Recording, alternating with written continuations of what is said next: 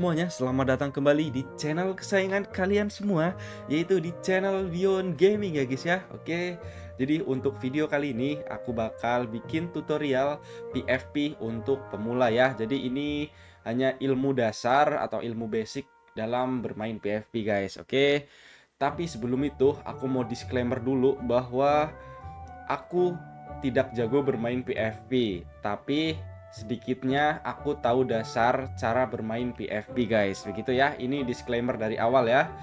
Oke jadi hal yang pertama di, harus kita ketahui dalam bermain PFP uh, PFP itu apa sih?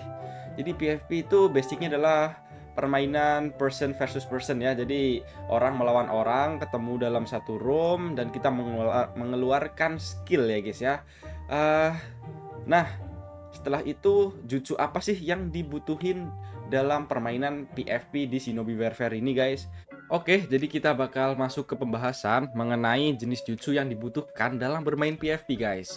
Di sini kebetulan udah aku buatin grade PFP Jutsu by Beyond Gaming season 3 uh, khususnya untuk kalian semua guys. Nanti aku bakal cantumin gambar ini untuk bisa kalian download dan kalian baca-baca lagi guys. Oke.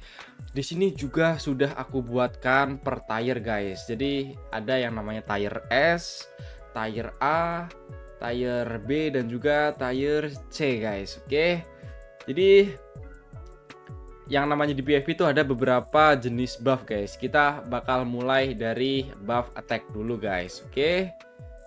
Jadi yang namanya buff attack itu apa sih bang?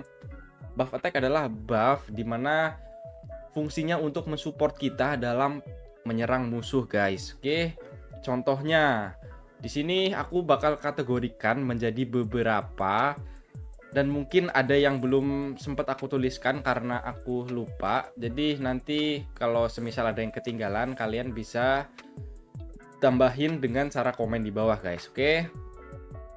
Jadi kita bakal mulai dari kategori pertama yaitu strengthen guys.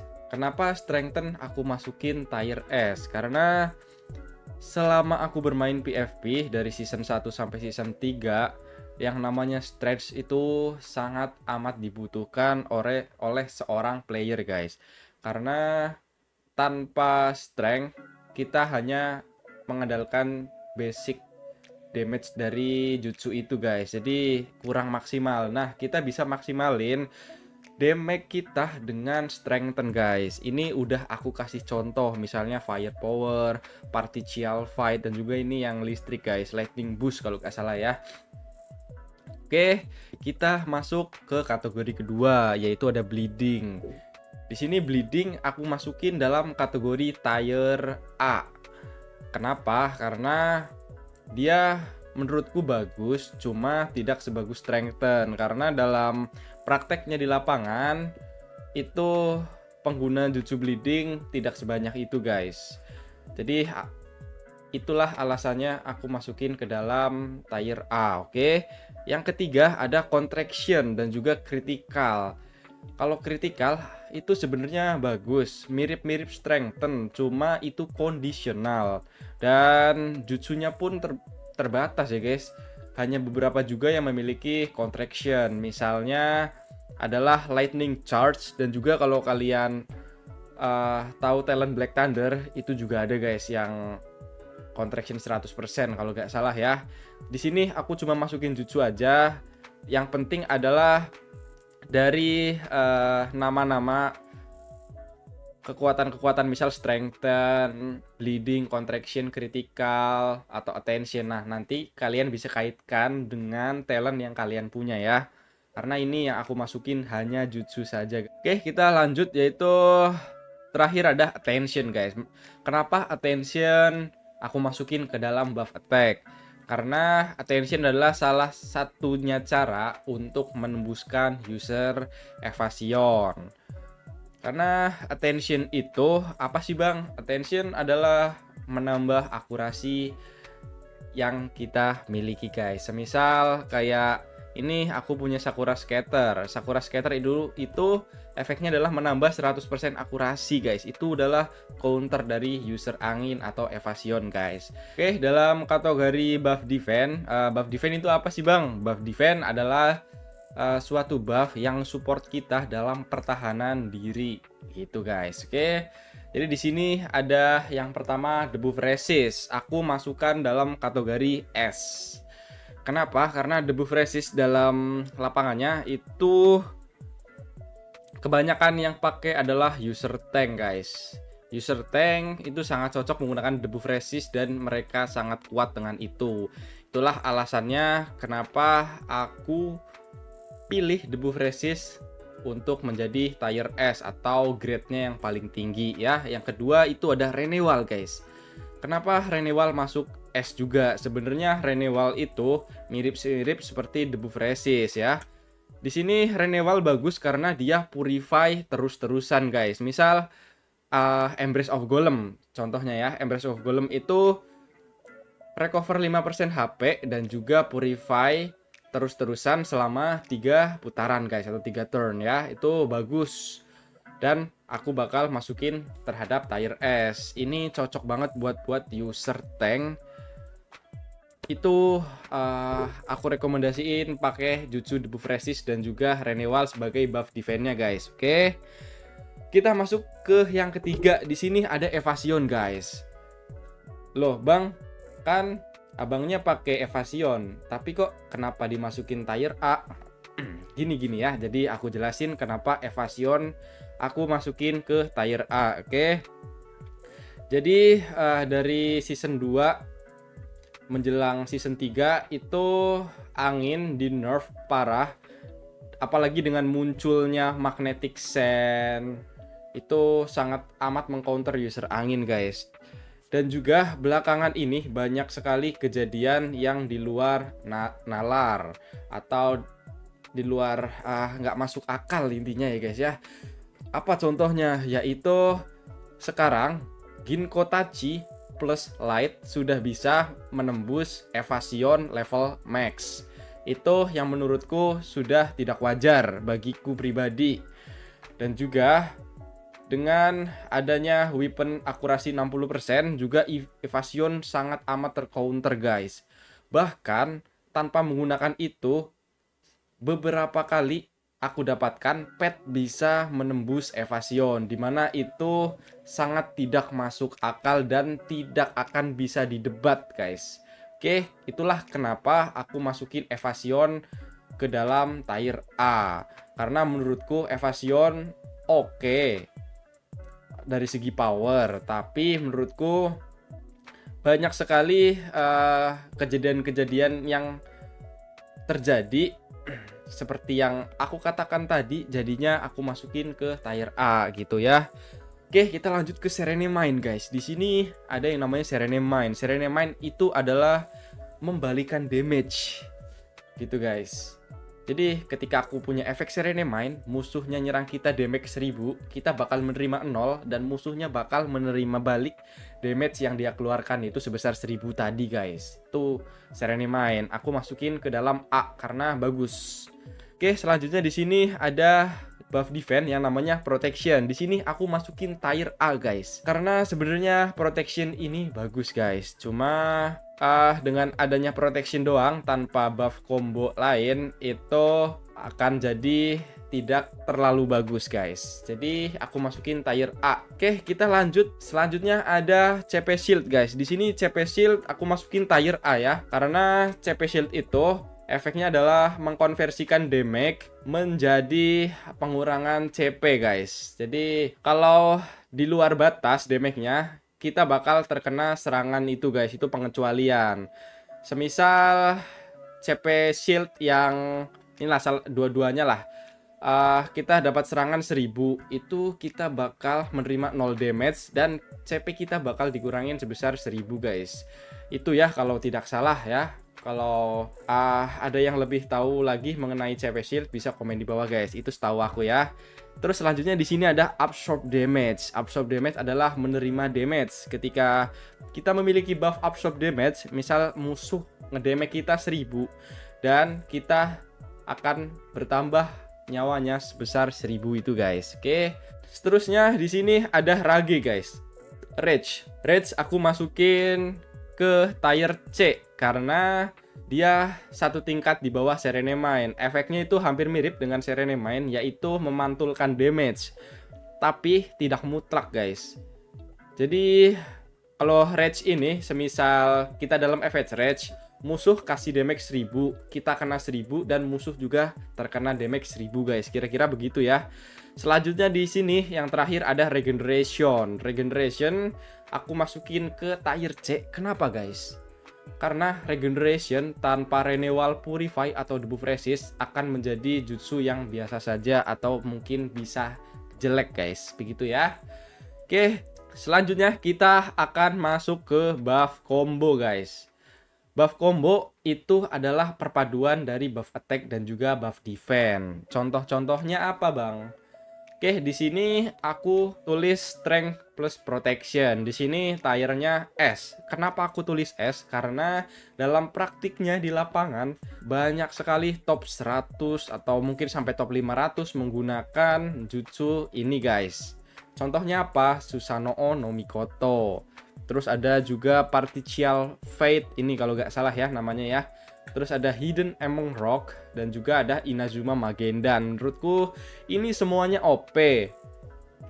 Tapi uh, ada alasan kenapa aku taruh Susanoo-nya di paling depan guys. Karena dia adalah salah satu jutsu yang paling sering dipakai ya antara dua ini nih. Ini dan juga ini uh, jutsu yang paling laku di BFP untuk buff strength plus protectionnya guys. Oke, kita lanjut lagi. Di sini aku tulis critical plus strength plus attention. Contohnya apa? Di sini ada jutsu listrik ya uh, aku lupa namanya. Intinya itu tuh menambah critical strength dan juga attention sebesar 20% kenapa aku masukin tier A? Karena ini menurutku cukup bagus untuk user angin saja gitu ya guys ya. Karena ada attentionnya dan juga ada strength dan juga critical. Kalau critikalnya jalan strengthnya jalan itu damage-nya kita pasti besar guys begitu ya yang terakhir ada Serene Mind dan juga Strength. Ini aku masukin ke dalam tier A karena sebenarnya bisa aja masuk ke S cuma tergantung situasi dan kondisinya guys. Oke. Jadi itulah mengapa aku masukin ke tier A. Tapi oke okay banget untuk dipakai. Ini bisa digunakan untuk semua natural ability, nggak cuma angin doang kayak yang atas ini guys. Begitu ya. Oke, jadi untuk pembahasan buff attack defense kombonya sudah selesai. Kita lanjut lagi ke buff negatif, guys. Oke, di sini kita sudah masuk buff negatif. Jadi buff negatif itu adalah memberikan efek negatif kepada musuh, guys. Contohnya apa, Bang? Oke, di sini aku bakal jelasin buat kalian semua ya. Di sini ada yang namanya Jutsu Lock. Jutsu Lock itu mempunyai efek yang sangat bagus menurutku pribadi. Itulah kenapa aku tuliskan di paling atas. Oke, jadi kenapa lock bagus? Karena lock memiliki dua efek. Jadi yang pertama, efeknya adalah ketika musuh nyawanya di atas 50%, itu masuknya ke dalam reduce damage taken sebesar 100% atau fair weapon sebesar 100% lah intinya begitu guys. Nah, kalau musuhnya di bawah 50%, kita berhasil ngelok dia, itu mutlak stun 100% guys. Jadi nggak ada kemungkinan resisted karena itu lock ya. Karena kalau di bawah 50% itu udah pasti stun guys. Itu kenapa Jutsu Lock sangat bagus. Dan di sini aku bakal memberikan sedikit saran untuk kalian. Uh, aku bakal saranin pilih Jutsu Lock yang ada damage-nya. Contohnya adalah Dragon Punch. Tapi semisal kalian tidak punya, kalian boleh pakai Jutsu Lock yang tanpa damage. Tapi kalau Jutsu Lock yang tanpa damage kemungkinan aku bakal masukin ke dalam grade A atau tier A ya. Oke, jadi setelah itu di sini ada Chaos juga guys. Chaos itu bagus karena direkomendasikan dari developer untuk menggantikan stun. Oke, jadi Chaos di sini adalah jutsu yang sangat amat bagus. Kalian juga pasti udah tahu efek Chaos itu apa guys. Oke. Kita lanjut ke Oblivion. Oblivion itu apa, Bang? Jadi Oblivion itu adalah mengacak uh, random skill. Intinya mereset cooldown jutsu dari musuh, guys. Contohnya adalah ini yang cube yang dari PFP season 2 atau selanjutnya di sini aku tuliskan stun guys. Kenapa Bang kok stun masuknya ke A, nggak ke S? Ya, karena dari informasi dari developer sudah menetapkan peraturan bahwa stun itu tidak mutlak guys. Perbandingannya keber dari segi keberhasilan yaitu 40% dibanding 60%. Jadi kemungkinan resistant berhasil itu beruntung, kalau nggak berhasil ya mau gimana lagi guys, kan emang aturannya sudah 40 banding 60 ya. Oke, selanjutnya ada fair weapon ya. Di sini aku masukin A tapi dengan syarat fair weaponnya di atas 50% guys. Kalau di bawah 50% aku saranin nggak usah dibawa ya. Oke, selanjutnya di sini aku tuliskan restriction guys. Restriction uh, itu efeknya lumayan bagus buat orang-orang yang nggak punya instant purify dari talent. Jadi restriction kan artinya adalah kita tidak bisa menggunakan jutsu tapi masih bisa menggunakan talent maupun kelas ya. Jadi ketika musuh kena restriction dan juga tidak mempunyai instant purify dari talentnya, itu akan menjadi bagus guys. Gitu ya. Selanjutnya di sini ada disoriented atau reduce purify. Aku masukin ke grade A karena itu bagus untuk mengcounter user air, tapi dengan satu syarat. Rasio persentase disorientednya wajib 80%. Contohnya adalah Madi, tapi ini buat jutsu emblem user saja guys ada sih Jutsu Clan dan kalian bisa dapetin di arena ya. Dengan uh, mengikuti arena seasonal. Tapi dapatnya random ya guys nggak pasti dapet gitu ya. Jadi kita lanjut lagi. Di sini ada Frozen. Aku masukin ke B. Kenapa bang? Kok Frozen masukin ke B? Jadi efek pasif dari Frozen ini dia kan basically uh, ngestun ya ngestun musuh. Tapi damage kita yang masuk ke musuh ketika musuhnya misal aku bakal nyerang ketika musuhnya masih dalam efek frozen yang habis kita gunakan. Itu yang masuk cuma 30% doang guys. Karena aturannya seperti itu. Frozen itu reduce damage by 70% jadi kita ngedamage cuma bisa masuk sebesar 30% guys. Itulah kenapa aku bilang biasa aja. Atau bahkan mungkin bisa jelek gitu ya. Yang terakhir adalah petrify. Aku masukin ke grade C. Kenapa? Karena petrify itu lebih parah dari frozen. Jadi kita ngestun musuh. Kita nggak bisa kasih damage ke musuh. Kita ngestun musuh tapi tapi kita damage kita terredus atau terkurangi sebanyak 100% gimana guys? Jadinya jelek kan? Gitu ya. Oke jadi kita setelah itu lanjut ke special buff guys. Di sini special buff uh, adalah buff yang unik menurutku pribadi. Di sini special buffnya aku kategorikan menjadi beberapa dan kebanyakan tire-nya S. Karena nama dari namanya juga udah special buff ataupun unique buff. Jadi itu pasti bagus-bagus guys. Contohnya apa? Misal disperse. Disperse itu sih apa sih bang? Aku nggak tahu bang. Aku kan pemula. Oke jadi untuk disperse ini adalah menghilangkan efek positif musuh guys. Misal musuhnya lagi pakai debuff resist ini ya misal. Terus kita disperse nanti efek debuff resistnya bakal hilang. Tapi kalau untuk evasion kalau kita tidak mempunyai weapon akurasi itu bakal susah untuk menembus evasion guys. Gitu ya. Oke jadi disperse itu adalah jutsu yang sangat amat bagus sampai kapan pun di PFP guys. Mau sampai season 100 itu tetap bakal bagus untuk disperse ini adalah beberapa jutsunya guys. Oke ini menurutku jutsu yang paling bagus yaitu disperse yang wajib kalian bawa di PFP oke kita lanjut lagi. Di sini ada rewind atau reset cooldown jutsu. Jadi uh, kenapa rewind aku masukin ke tier S? Karena itu sangat bagus. Misal evasion kita sisa 7 turn. Masih nunggu cooldown sebanyak 7 ya. Sedangkan kita tinggal pakai Dash of Fujin maka cooldownnya akan berkurang 5 misal. Jadi sisa 2 itu kan bagus berarti ya. Jadi kita bisa menggunakan jutsu secara uh, terus-terusan dengan Dash of Fujin ini karena kita bisa ngeriset-riset terus guys. Selanjutnya di sini aku tuliskan increase ability atau speed. Jadi menambahkan ability. Contohnya adalah Kinjutsu potensial ini. Ketika kita pakai ini, dia udah dapet efek rewind. Inilah kenapa aku kasih dua guys di sini guys karena dia udah reset cooldown dan juga nambahin speed kita. Jadi jalannya kenceng guys. Ability itu adalah jalan. Jalan kenceng guys. Gitu ya. Selanjutnya ada high akurasi jutsu. Di sini juga tayarnya S guys. Uh, di sini ada beberapa contoh dari jutsu high akurasi walaupun musuh evasion tetap bakal kena guys. Ini contohnya ya. Ada majestic arrow Ichika Bechimonji kalau nggak salah ya. Dan juga adalah Apple yang Apple ini guys yang dari Tal event Tal kemarin ya. Tapi counter dari jutsu ini adalah minus .g Bang minus .g apalagi tuh? Jadi minus .g adalah uh, kalau kalian tahu skill Black Thunder yang uh, reduce .g chance 110% itu kemungkinan bisa .g guys. Semisal musuh punya Fire Majestic Arrow atau ketiga jutsu ini.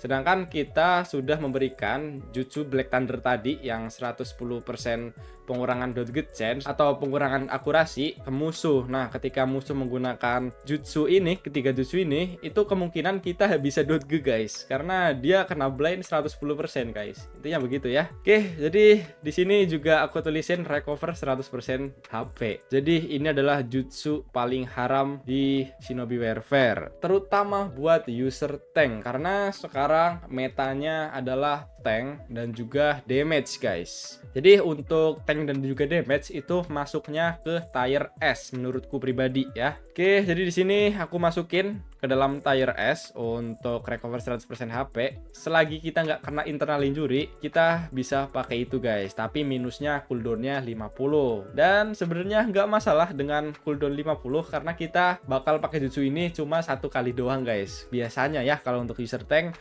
ketika base HP-nya tinggal 10% atau berapa kita pakai nyawanya full lagi. Dan resource skill atau skill yang musuh punya udah habis mereka pasti males guys untuk ngelawan pasti kalah kemungkinan besarnya. Begitu ya. Oke selanjutnya di sini aku tulisin Shop CP jadi menyerap CP aku bakal kategorikan terhadap A karena itu cuma menyerap CP saja guys. Halo guys. Jadi di sini aku ingin sedikit menambahkan karena aku sedikit kelupaan untuk beberapa hal yang aku bawa di video konten kali ini ya.